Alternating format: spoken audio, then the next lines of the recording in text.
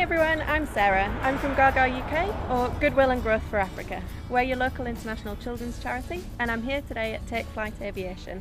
I'm going to show you how you can help us to raise some funds.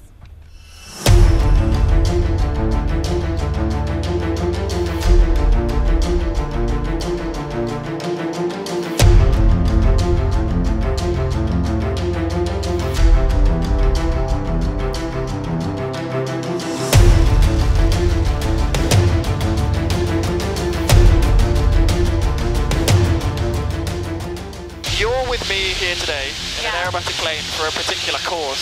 Right. So I'm could you introduce yourself? Yeah. So my name's Marisa, and uh, I'm a trustee at Gaga. We're a small charity based in Stratford, uh, and Gaga UK is Goodwill and Growth for Africa. My name's Ian. I'm uh, doing the loop the loop today for my daughter's charity Gaga. Hopefully raising some money for the schools that she's working with in South Africa. In three, two, one. Oh my God! oh my God! Nice and gentle. Oh, sugar! Oh, goody Was that it? The next one's a loop. That wasn't a loop? That was a roll. Oh, sorry. Into the loop. Here we go. Oh my god! Oh, the sky, the, oh, the ground. Wow. And then I'm going to go straight into the next manoeuvre if that's okay with you. Oh no! No? Yeah, go ahead, go ahead. I'm sorry, I'm going to have to push it down a bit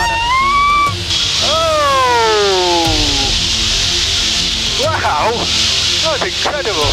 Okay. Up like that. Over like that. Oh my gosh! And then gently onto the strap. Oh my god!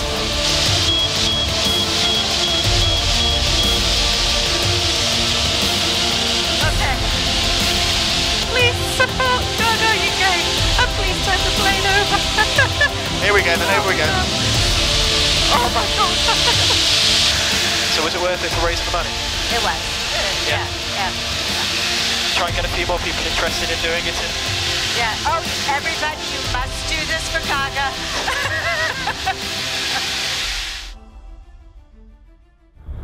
So we've seen a couple of loopers. Um, where's where's the money gone?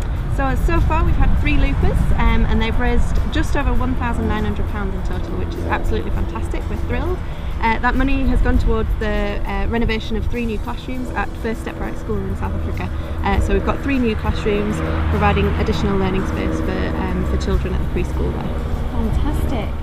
So now you've seen how much fun it can be to raise money for charity. Just click the link below and you'll find out more about the Loop the Loop challenge.